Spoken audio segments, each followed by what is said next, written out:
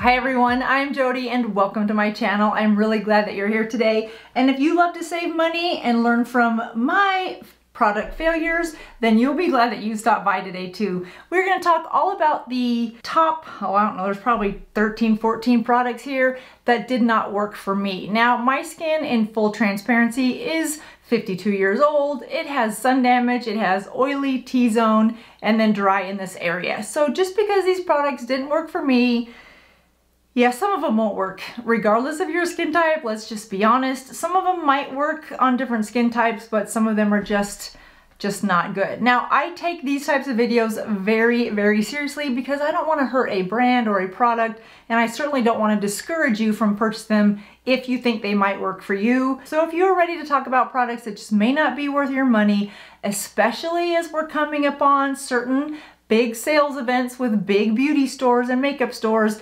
these are products that you probably can just skip and spend your money on products that you know and you love. I have purchased all these products myself. Brands may not sponsor me after this video. I know some of you in the comments may say, oh, but I love that product, and that is great. If you love these products, Please share it in the comments that you love it and why you love it. And maybe even if you wouldn't mind what type of skin you have so that it can relate to other people so that people that are very similar in skin type or skin tone, this might be a product find for them. All right, so without further ado, if you are ready, let's just jump into it. All right, one of the first ones, and I know this one is gonna spark a lot of controversy, and this is the Bye Bye Under Eye by IT Cosmetics. Now, some of these products, you guys, I have recommended upon first use or maybe even second use, but have you ever had a product that you've used a few times and by the third or fourth time you're like, why did I love this? Or you just fall out of love over a course of a couple times using it. That is how I feel about this one. This Bye Bye Under Eye by IT Cosmetics is one of those concealers that seems to be a lot of people's favorite. It is super, super thick and it is very, very pigmented. I mean, now you put that on top of an eye with any type of serum under it and I get, not only do I get it to slip, but it settles into lines and. Look, I can't even call them fine lines. They're, they're lines. It settles into lines so quickly that it is hard to do anything with it once it's done that. It's very tacky, it's very thick, and maybe if you've got a lot of discoloration under your eyes, you need this thick of a concealer. But even that, I would say use a color corrector first and then a lighter concealer and you'd be better off than this really thick formula. So for me, IT Cosmetics Bye Bye Under Eye is a big pass and kind of a fail for mature eyes. Now I know it's a hot selling item on QVC and in some of the other beauty stores, but I just, I think this is the second time I bought it because the first time I bought it and I didn't use it and it dried out. So I thought, oh, some YouTuber recommended it again. So I thought, let me try it. It's gotta be a reason it looks so good on camera. And it just doesn't. It just does not work for me. So fail number one.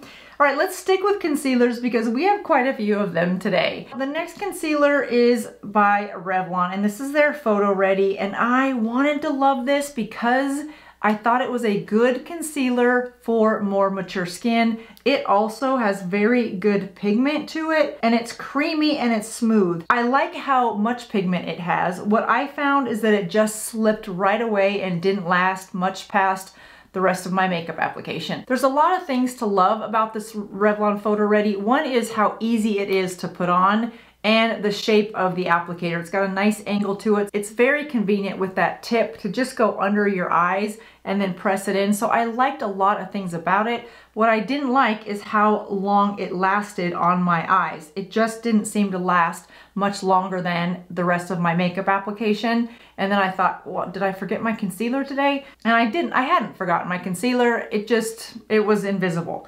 So that was a pass for me. If you don't need a lot of concealer and you can set it with the powder, this might still be a good option, but um, for my more mature eyes that needs a little bit of serum prior to a concealer, without setting it with too much powder, that was just wasn't the formula for success in this application for me. Next up is by Dior, and this is the Dior Backstage. And this comes in at $29.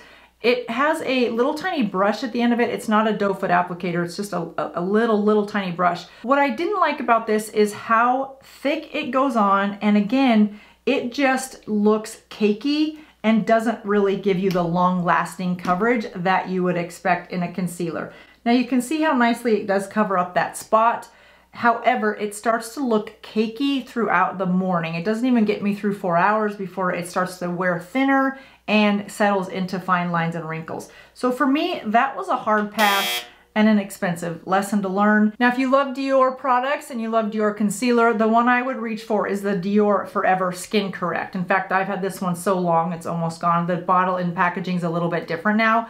This is a full coverage concealer. I really like this one because A, it has a nice doe foot applicator, but it also lasts a long time without settling, but it is a full coverage. So from that perspective, it wears well, it covers well, it doesn't settle and it doesn't wear thick. I want a concealer that's thick enough to cover, but not so thick that I spend a lot of time blending it into my foundation. And I want it to wear similarly to my foundation. Have you guys ever had those makeup days where halfway through the day you look in the mirror and either your foundation has worn much better than your concealer or vice versa and it just looks like you had two very different products on? In essence, we do have two different products on between our concealer and our foundation, but I'm the only one that should know that. Anybody that sees me out and about should not know that those are two different products. I find that this one is much more easy to blend than this one into the rest of my foundation or, or any other products that I have around. And again, don't let this packaging fool you. That's how long I've had this one. The packaging is different now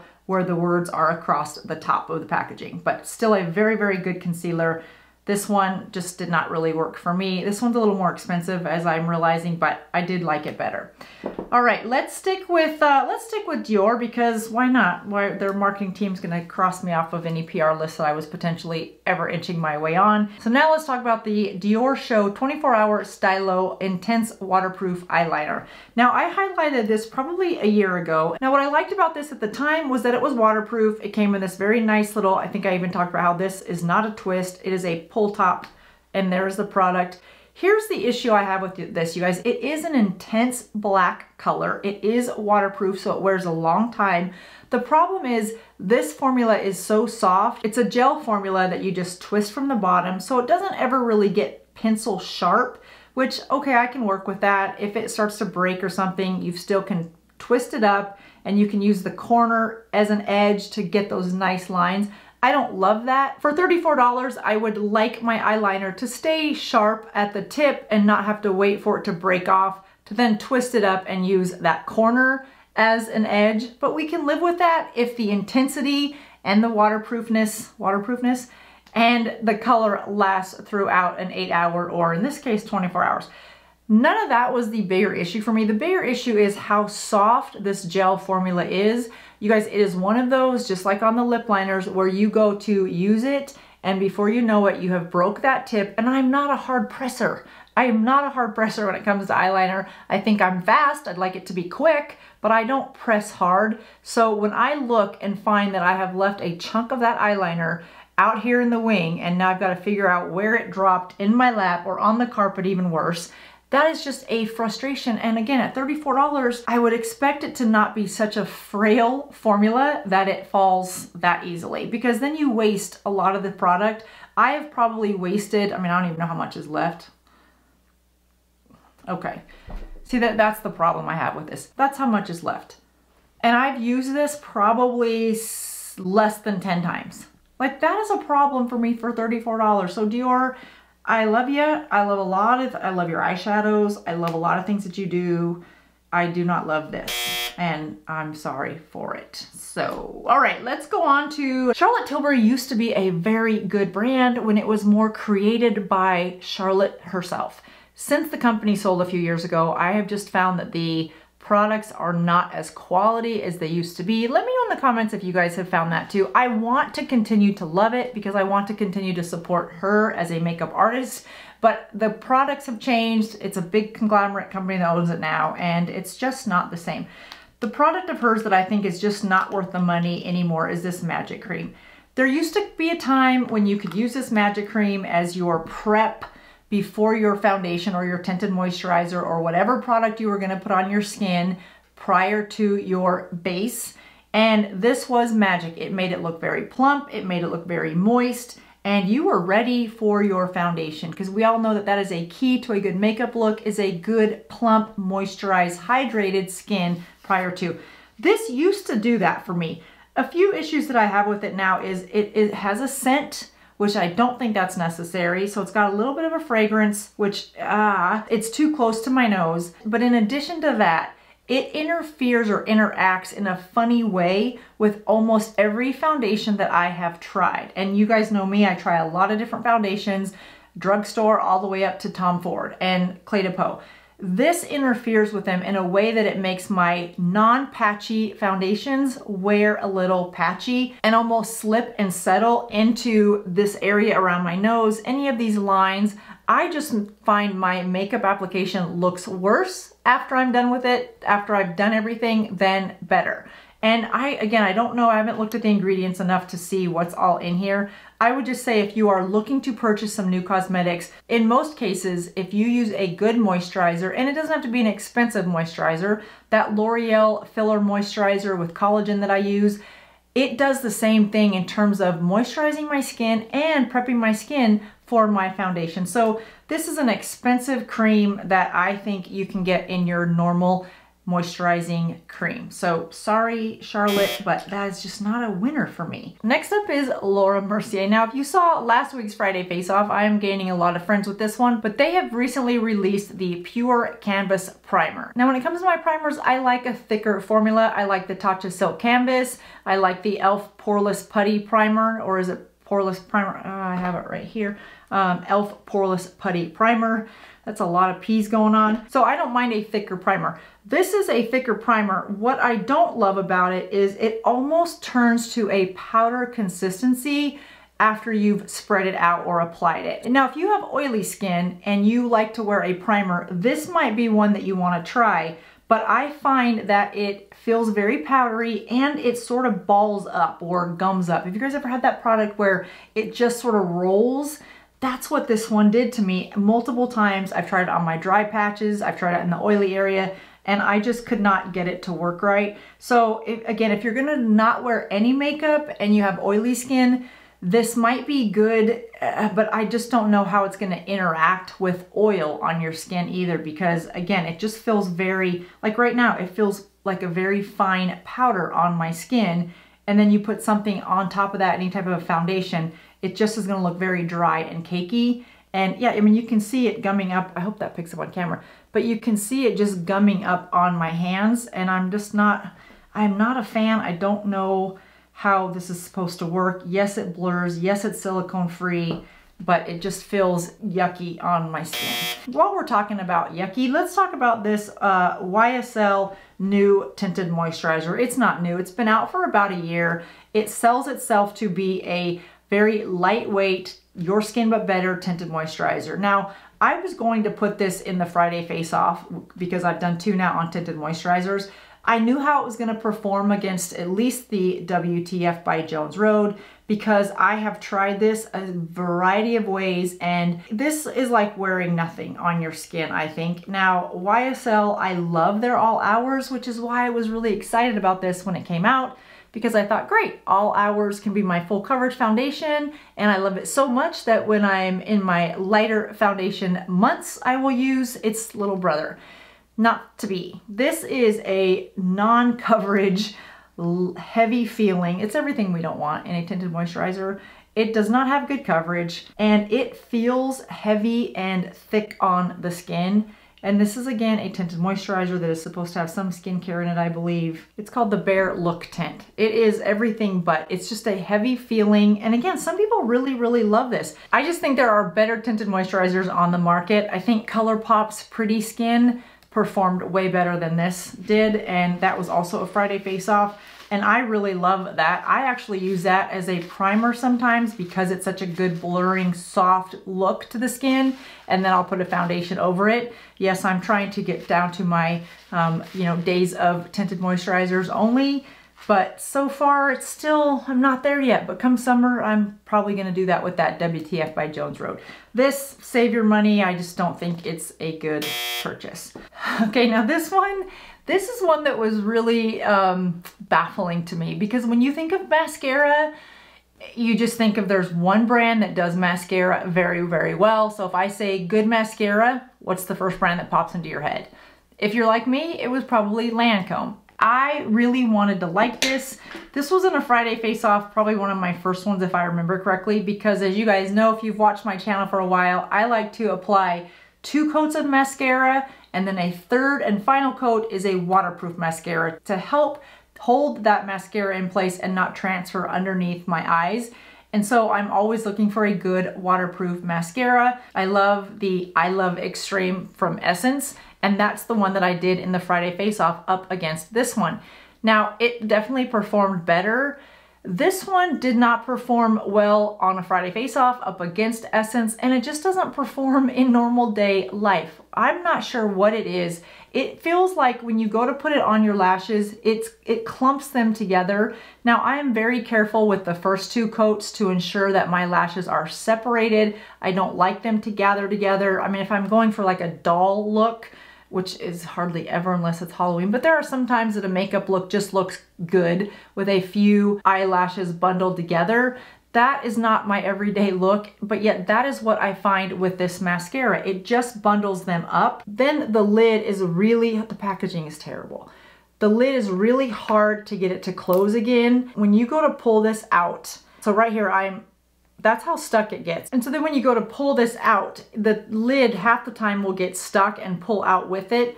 And you end up with so much product on your wand that you have to put it back in and get this part to close back into the lid so that you can then come pull it out again and let it work correctly.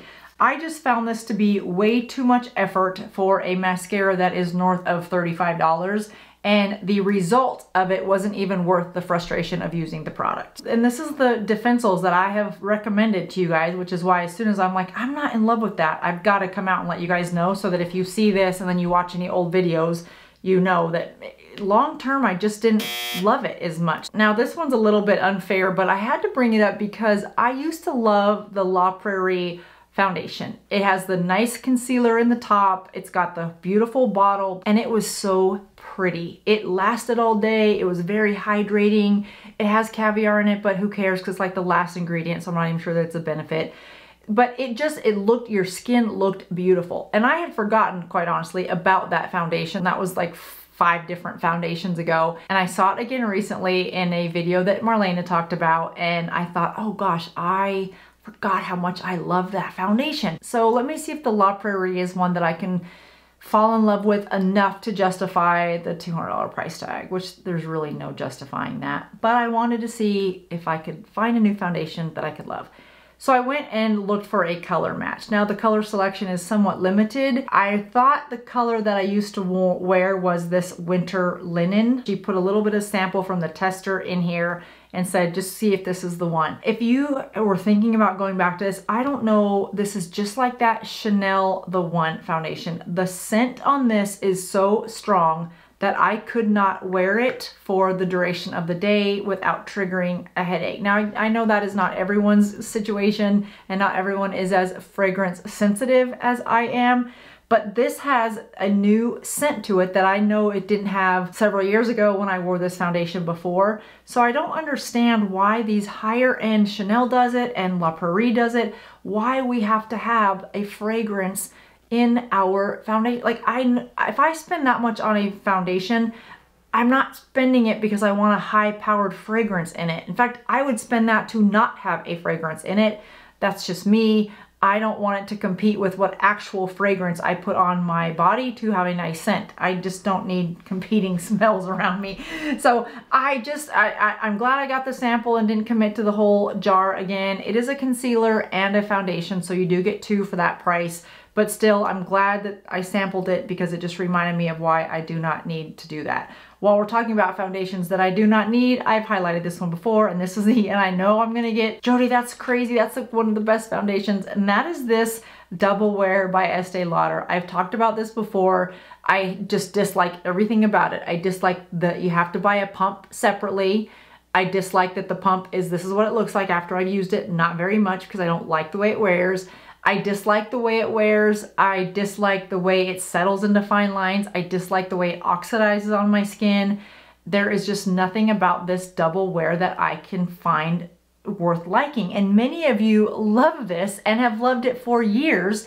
I've read a lot of comments from people, and I highlighted this before, that this was just not a foundation that is mature skin friendly. And Estee Lauder is a brand that tends to market itself to catering to more mature women. And I have to give them credit because some of their ads feature more mature women and models, and I appreciate that. But I don't find that the products match their marketing models. Does that make sense? At least in my case, it did not.